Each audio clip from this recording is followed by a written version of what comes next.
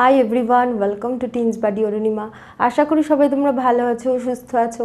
আজকে অষ্টম শ্রেণির অষ্টম চ্যাপ্টার থেকে ধান সংক্রান্ত কিছু ছোট প্রশ্ন নিয়ে আলোচনা করব। মানে আজকে এই ধান অংশটা থেকে কি কি প্রশ্ন আসতে পারে সবটা নিয়েই কভার হবে। চলো শুরু করা যাক। প্রথম প্রশ্ন হলো, ভারতে ভালো ধান উৎপাদনে সক্ষম রাজ্য কোনগুলো? মানে ভালো ধান উৎপন্ন হয় সেই রাজ্যগুলো কোনগুলো? যেমন পশ্চিমবঙ্গ, পাঞ্জাব, উত্তরপ্রদেশ উড়িষ্যা অন্ধ্রপ্রদেশ, তামিলনাড়ু, এগুলো। তারপরে প্রশ্ন হলো, ভারতের সবচেয়ে বেশি ধান উৎপাদনে সক্ষম রাজ্য কোনটি? ভারতের সবচেয়ে বেশি ধান উৎপন্ন হয় আমাদের রাজ্যে পশ্চিমবঙ্গ।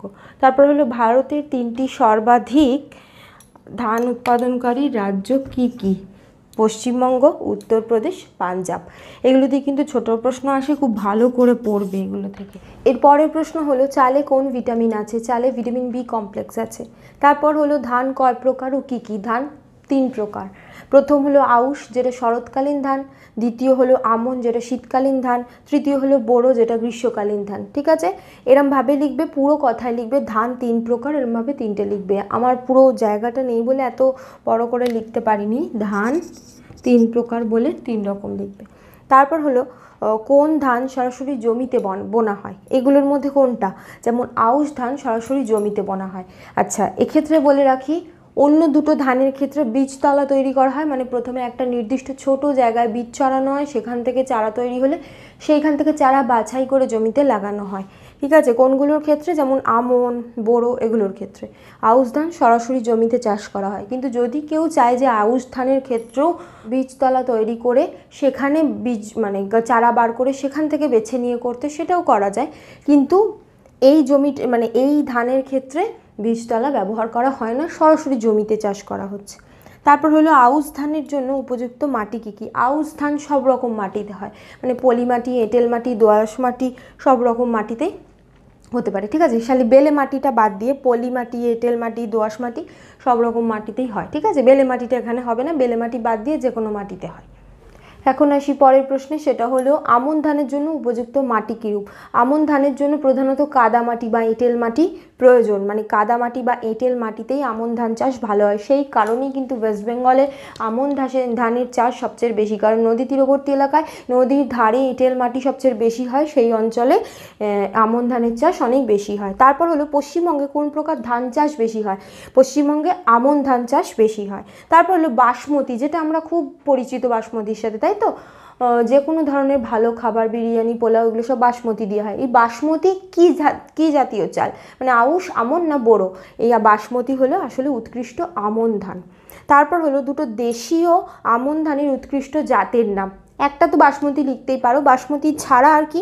রঘুশাল ঝিং ঝিঙাশাল ভাষামানিক এইগুলো। তারপর হলো ফসল পক্ক হওয়ার ভিত্তিতে ধান কয়রূপ আগেরগুলো যেগুলো বললাম, সেগুলো হলো সময়। কোন সময় সেটা চাষ করা হচ্ছে সেটার উপর নির্ভর করে এখন হলো ফসল পাকছে। পাকতে কত সময় নিচ্ছে সেইটার উপর নির্ভর করেও ধান চাষ করা হয়। সেগুলো কি কি? যেমন স্বল্প মেয়াদি, এটা খুব অল্প সময়ের মধ্যে ধান পেকে যায়। মধ্যমেয়াদি এটা মাঝারি সময়ের মধ্যে ধান পেকে যায়। দীর্ঘমেয়াদি অনেকটা সময় নেয়। যেমন স্বল্প মেয়াদির একটা এক্সাম্পল হলো রত্না। মধ্যমেয়াদী হলো জয়া, জয়ন্তী এগুলো। দীর্ঘমেয়াদী হলো সোনা মুসুরি। সোনা মুসুরি বা স্বর্ণ মাসুরি একরকম চাল হয়। ছোট ছোট মানে চালের দানাগুলো ছোট হয় কিন্তু খেতে সুস্বাদু। সেটা হলো দীর্ঘমেয়াদি চালের মধ্যে পড়ে। এখন আসি পরের প্রশ্নে। স্বল্পমেয়াদী জাতের যে ধান, সেটা পাকতে কত সময় নেয়? প্রায় পঁচানব্বই থেকে একশো পনেরো দিন মানে তিন মাসের একটু বেশি সময় নেয়। প্রায় তিন মাস বা তিন মাসের একটু বেশি সময় নেয়। তারপর হলো মধ্যমেয়াদি জাতের যে ধান, পাকতে কত সময় নেয়? একশো ষোলো থেকে একশো পঁয়ত্রিশ দিন, প্রায় চার মাস। চার মাসের একটু কম, একটু বেশি এরকম সময় নেয়। দীর্ঘমেয়াদী জাতের ধান পাকতে কত সময় নেয়? এটা নেয় একশো চল্লিশ থেকে একশো পঞ্চাশ দিন। এটা হলো প্রায় পাঁচ মাস সময় নেয়। এবার দিয়েছি, দেখো কোনটা অনেকগুলো উদাহরণ দেওয়া আছে। সেগুলো কোনটা কোন জাতের ধান সেটা লিখতে হবে। পঙ্ক, যেটা হলো নাবি বা দীর্ঘমেয়াদী মানে পাকতে অনেকটা সময় নেয় সেই জাতীয় ধান। জয়ন্তী হলো মাঝারি বা মধ্যমেয়াদী জাতের ধান। রত্না হলো জলদি বা স্বল্পমেয়াদী জাতের ধান যেটা তাড়াতাড়ি পেকে যায়। স্বর্ণমাসুরি হলো নাবি বা দীর্ঘমেয়াদী জাতের ধানের মধ্যে পড়ে। এরপর আসি টু মার্কসের প্রশ্নে, সেটা হলো, শুষ্ক শোধন পদ্ধতিতে কখন ধান বীজকে শোধন করা হয়, কীভাবে করা হয়?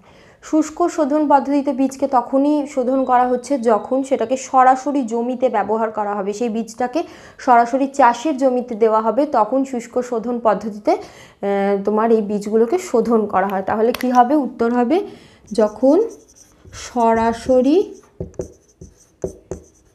চাষের জমিতে বীজ দেওয়া হয়।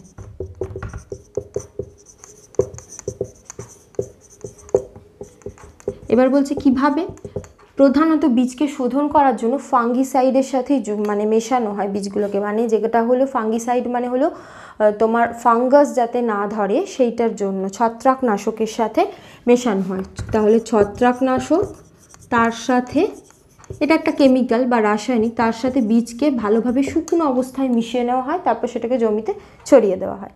তারপরে প্রশ্ন হলো, বীজতলায় বীজ বোনার জন্য বীজকে কীভাবে শোধন করা হয়?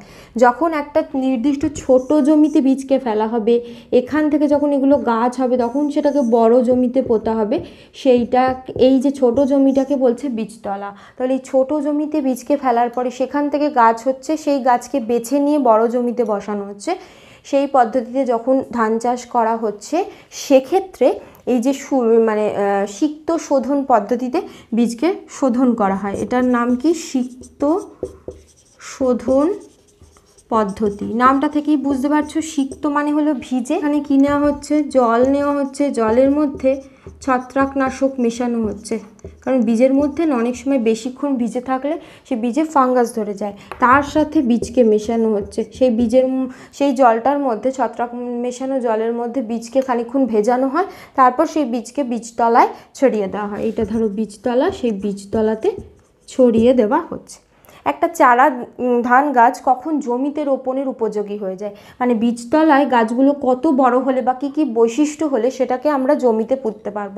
মোটামুটি পাঁচ থেকে ছটা পাতা বার হবে। আর হলো বারো থেকে পনেরো সেন্টিমিটার লম্বা হতে হবে। পাতাটা কেন গুরুত্বপূর্ণ? কারণ পাতা হলে তবেই সেই উদ্ভিদে ভালোভাবে সালোক সংশ্লেষ হবে, গোটা উদ্ভিদটা বেঁচে থাকতে পারবে। আর বেশ লম্বা হবে, বারো থেকে পনেরো মানে একটা ছোট স্কেল সাইজে বড় হবে, তবে সেই চারা ধান গাছগুলোকে তুমি জমিতে পুঁততে পারো। এরপর আসি জলসেচের সময়। এই যে ধানের গোড়ায় কতটা জল বেঁধে রাখা হয়? প্রায় তিরিশ মিলিমিটার থেকে পঞ্চাশ মিলিমিটার মানে হলো তিন থেকে পাঁচ সেন্টিমিটার, ঠিক আছে? তারপর হলো শুষ্ক জমি কোন ধান চাষে তৈরি করা হয়? মানে জমিটাকে জল থাকবে না, একটু শুকনো জাতীয় কোন জাতীয় ধান চাষে করা হয়? এটা এটা খুব সোজা মানে ধর- কোন জাতীয়, কোন সময় যে কোনো চাষি জল কম লাগে, সেগুলো কি? রবি শস্য যখন চাষ করা হয়, তার মানে শীতকালে যেটা চাষ করা হয়, কোন ধান শীতকালে চাষ করা হয়? আমন ধান। তাহলে শুষ্ক জমি আমন ধানের ক্ষেত্রে ব্যবহার করা হয়। তারপর হলো সিক্ত জমি কোন ধান চাষে ব্যবহার করা? সিক্ত মানে কি? জমিটা ভেজা ভেজা থাকবে, সেটা কোন সময়ের হয়? কোন জাতীয় ফসলের ক্ষেত্রে জমিকে ভেজা রাখতে হয়? যখন গরমকালে যে জাতীয় ফসল চাষ করা হয়, ঠিক আছে? তাহলে গরমকালে যে জাতীয় ফসল চাষ করা হচ্ছে, তার মধ্যে কোন ধান পড়ে? সেটা হলো বোরো। তাহলে যখন রবি শস্য চাষ হয়ে যাচ্ছে, জমি পরিষ্কার করে ফেলা হচ্ছে, তারপর সেই জমিতে যখন ধান চাষ করা হচ্ছে, সেক্ষেত্রে সিক্ত জমি ব্যবহার করে বোরো জাতীয় ধান চাষ করা হচ্ছে, ঠিক আছে? তাহলে আশা করি তোমরা বুঝতে পেরেছ, আজ এই পর্যন্তই। তোমাদের যদি কোনো প্রশ্ন থাকে প্লিজ কমেন্ট করো। তোমরা এই ভিডিওটাকে লাইক করো, বন্ধুদের মধ্যে শেয়ার করে দিও, আর সাবস্ক্রাইব করো। দেখো সাবস্ক্রাইবের পাশে একটা বেল বাটন আছে, ওটাও ক্লিক করে দিও। তাতে আমি যখনই কোনো নতুন ভিডিও দেবো, তার ইনস্ট্যান্ট নোটিফিকেশান তোমরা পেয়ে যাবে। Thank you